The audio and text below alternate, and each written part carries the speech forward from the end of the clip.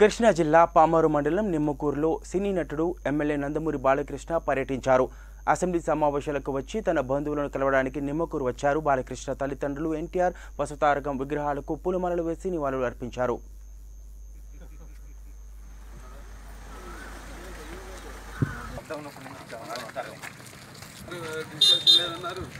Governor speech మీద లేదన్నారు.